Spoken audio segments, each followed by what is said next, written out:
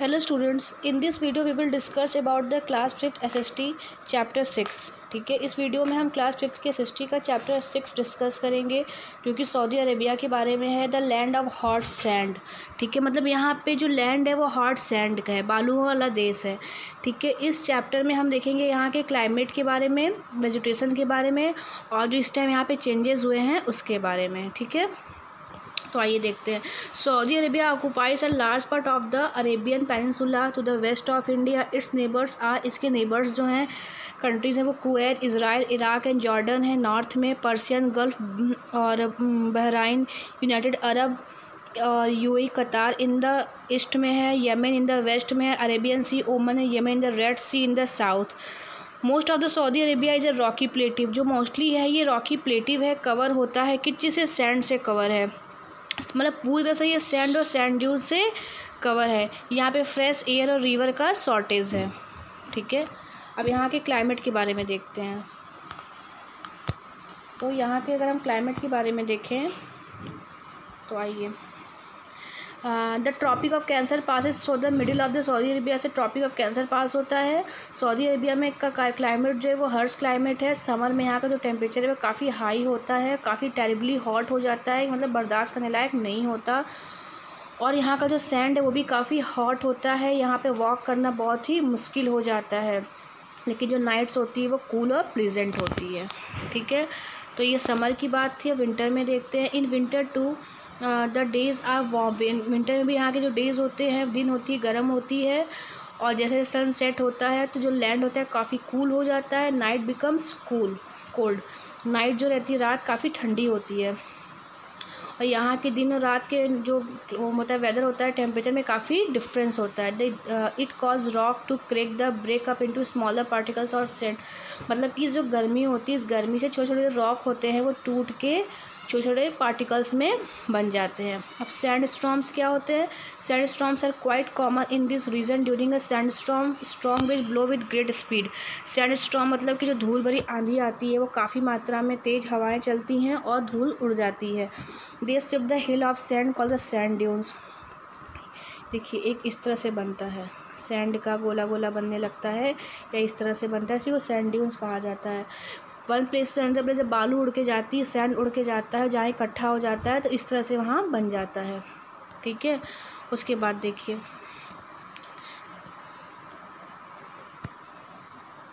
आगे है कि there is a very little rainfall यहाँ पे बारिश बहुत ही कम होती है twenty five centimetre per year होती है। और when it rain it craze continuously for a few hour लेकिन जब बारिश होती है तो यहाँ बारिश बहुत ही लंबे घंटों के लिए होती है।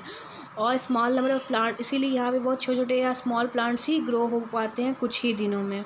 Soon the wither away and die because the water evaporates very fast और गर्मी होने की वजह से वाटर बहुत जल्दी इवापरेट होता है और ये सूख के मुरझा जाते हैं। तो यहाँ के वेजिटेशन के बारे में देखेंगे और यहाँ पे हार्डली कोई ट्रीज़ इस रीजन में ग्रो होता है। और यहाँ पे कैक्टस हार्डी ग्रासेस और थ्रोनी बसेस होते हैं। These plants have long roots इस प्लांट मतलब जो प्लांट्स यहाँ होते हैं, ये जो दिया है, इसके रूट्स काफ़ी लॉन्ग होते हैं। जो ज़मीन के अंदर काफ़ी नीचे तक गए होते हैं पानी की तलाश में, ठीक है ग्राउंड वाटर के लिए। However some places in the desert have a store of underground water लेकिन फिर भी यहाँ पे कुछ ऐसा एरिया है डेजर्ट में जो अंडरग्राउंड वाटर को स्टोर किए होते हैं लाइक लेक्स और deep wells these places are called oases उसे क्या बोलते हैं? ऑसेस बोलते हैं। मतलब कि सैंड के पे डेजर्ट एरिया में कुछ ऐसे एरियाज़ होते हैं जहाँ पे पानी वगैरह इकट्ठा हुए होते हैं। उसे ऑसेस बोलते हैं।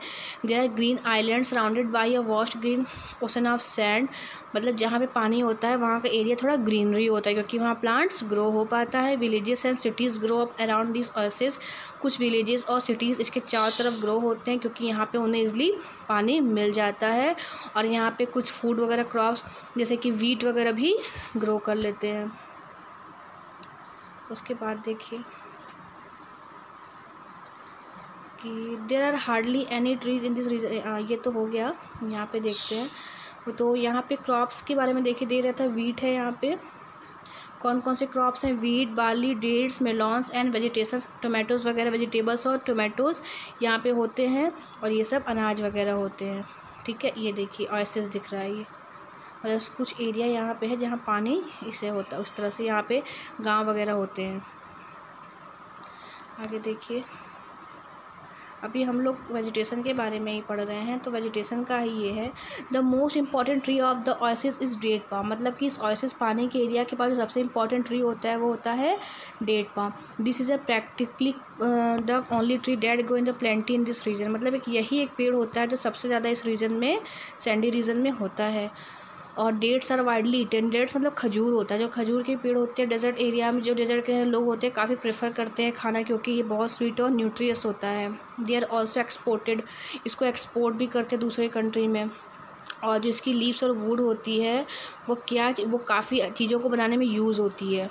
मतलब कि जो डेट की, जो खजूर के जो पेड़ होते हैं, उसकी जो लकड़ी होती है और पत्तियाँ होती हैं, उससे मैट्स बास्केट बिल्डिंग मटेरियल्स वगैरह भी अदर प्रोडक्ट बनाया जाता है।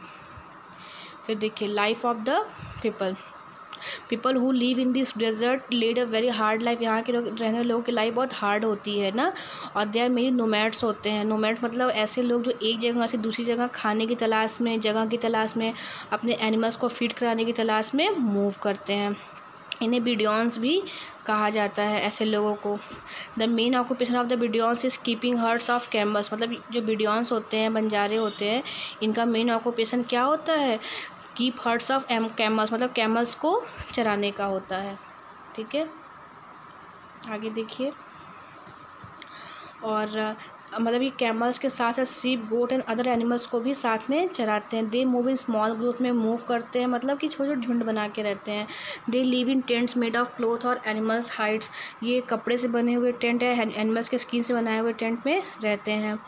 ठीक है? और ये अपने मतलब जहाँ भी इनको जाना होता है, अपने टेंट को उठा के लेके जाते हैं। जिस जगह पे जाना होता है, वहाँ जाने के बाद फिर से उसको, उसका सेटअप कर लेते हैं। ठीक है? फिर देखिए कैमल जो होता है, वो सिप ऑफ़ द डेजर्ट होता है। ठीक है? आपको पहले भी पता होगा।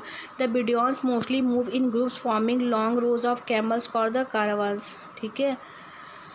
ये देखिए। मतलब ये जो कारावांस क्या है? ये ये व्यक्ति कारावांस है। क्यों? क्योंकि इसके पास ग्रुप ऑफ़ कैमल्स हैं जो देखिए लाइन से चलते आ रही इसी को कारावांस कहा जाता है।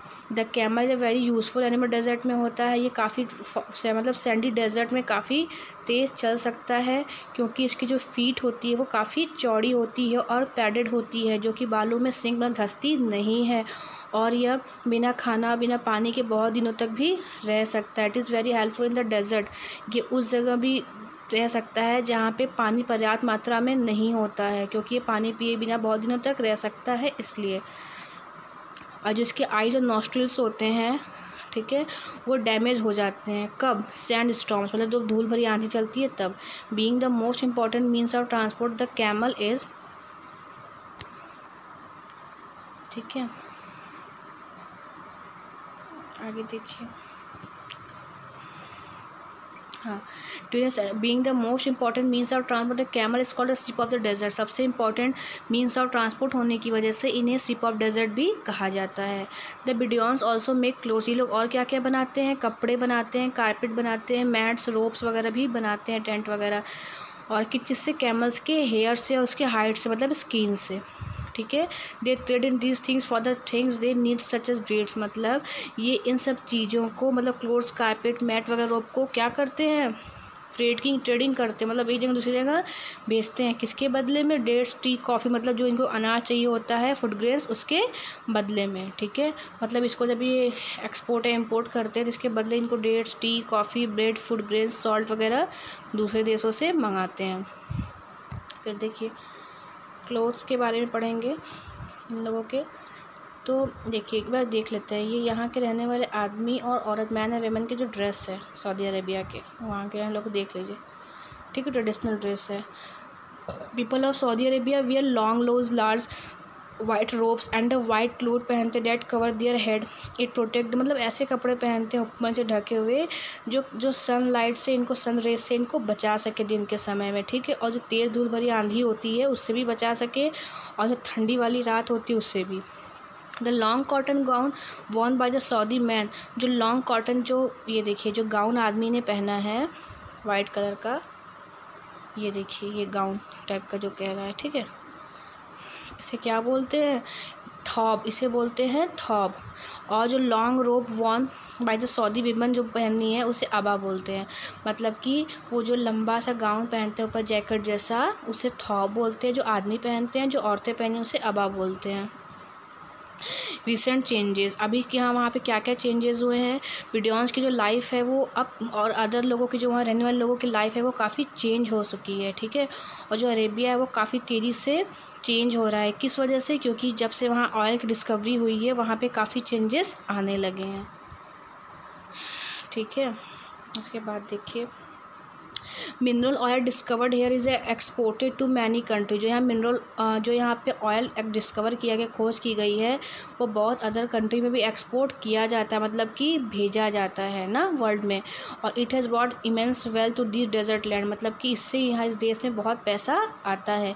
इसी वजह से यहाँ के मिनरल ऑयल को क्या कहा जाता है? लिक्विड गोल्ड कहा जाता है। Mineral oil is taken out of the ground and refined in the oil refineries जो मिनरल ऑयल ग्राउंड से निकाला जाता है, उसको ऑयल रिफाइनरी में रिफाइल रिफाइन करने का पेट्रोलियम बनाया जाता है, ठीक है? उसके बाद देखिए it is transported to the ports in the tankers मतलब ट्रांसपोर्ट किया जाता है टैंकर्स के माध्यम से और इसकी सिप्स होती है मतलब सिप मतलब जहाज़ में भर के कैरी किया जाता है ऑयल को, ठीक है? अलग अलग कंट्रीज़ में, ठीक है?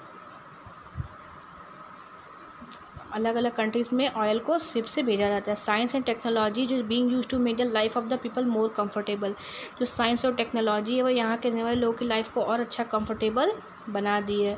Huge farms are being cultivated बड़े बड़े फॉर्म्स बने हुए हैं कल्टिवेटेड होते हैं वहाँ पे। Salty salty water of the sea is being change into the drinking water जो यहाँ का सॉल्टी वाटर है, वो धीरे धीरे ड्रिंकिंग वाटर में उसको चेंज किया जा रहा है। द ह्यूज डिसलाइनेशन प्लांट्स ये देखिए। यहाँ पे दिखाती हूँ मैं आपको ये। इमेज है oil wells in Saudi Arabia तो यहाँ का ऑयल वेल्स है। तेल निकालने का जो वो कुआँ है यहाँ, ये देखिए, इस तरह से निकाला जाता है, ठीक है? इंपॉर्टेंट सिटीज़ देखिए सऊदी अरेबिया में बहुत इंपॉर्टेंट सिटीज़ हैं, कुछ न्यू सिटीज़ जो यहाँ पे हैं, वहाँ पे मॉडर्न फैसिलिटीज़ भी हैं, ठीक है? फिर देखिए, ये है कि super highways port facilities high rise building and modern utility service are now being provided in the older cities मतलब कि जो नए नए सिटीज़ बने, वहाँ पे तो मतलब अच्छे से टेक्निकल टेक्निकल मतलब टेक्नोलॉजी है, लेकिन नए पुराने शहर जो थे, वहाँ पे भी नए नए टेक्नोलॉजी आ गए हैं। Riyadh is the capital of Saudi Arabia याद रखिएगा। रियाद रियाद क्या यहाँ का कैपिटल है? ये मॉडर्न वेल प्लान सिटी है। ठीक है? मतलब नया प्लांट सिटी है स्काई स्क्रैपर्स हैं, यहाँ पे पार्क है मार्केट्स हैं हॉस्पिटल एजुकेशन इंस्टीट्यूशन है। स्काई स्क्रैपर्स मतलब आसमान को छूती हुई बड़ी बड़ी इमारतें।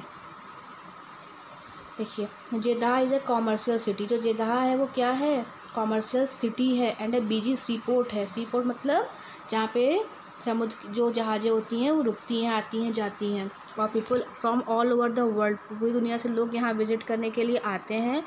King Abdul Aziz International Airport in Jeddah is one of the largest airport Saudi Arabia का सबसे बड़ा ये एयरपोर्ट है। Mecca is the holiest centre of pilgrimage for the Muslim Saudi Arabia में जो मक्का है, वो हॉलीस्ट सेंटर जैसे हम लोगों का है ना, केदारनाथ, बद्रीनाथ, वैष्णो देवी ठीक है?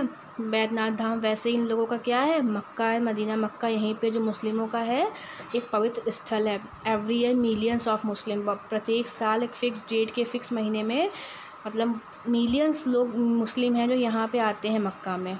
और Medina is and religious centre of the pilgrimage और मदीना भी एक अनदर है रिलीजियस सेंटर है। ठीक है? और किसका है? मुस्लिम का, ये भी है Mecca and Medina. Due to the efforts of the government के एफर्ट्स की वजह से Saudi Arabia hot and barren desert has become Saudi Arabia का जो हॉट एंड बैरन तो अगर हम ये देखेंगे तो थोड़ा सा एफ़र्ट जो था यहाँ का due to the effort of the government की एफ़र्ट की वजह से जो सऊदी अरेबिया का जो हॉट एंड बैरन डेजर्ट था वहाँ का ठीक है? मतलब जो गर्मी वाले, जो बैरन डेजर्ट मतलब जो बैरन का मतलब होता है ना कि जहाँ पे, ऐसा ज़मीन जहाँ पे कोई अनाज ना हो पाए, उसे बैरन लैंड कहा जाता है, ठीक है? लेकिन अब वो प्रॉस्पेरिटी का काम करने लगा है मतलब वहाँ से तेल निकालने जाने लगा है, इसलिए। और other country people from other countries दूसरे कंट्रीज़ के लोग भी अब यहाँ आते हैं, रहते हैं और काम करते हैं, ठीक? तो बस बेटा ये चैप्टर यहीं पे कंप्लीट हो गया। Thank you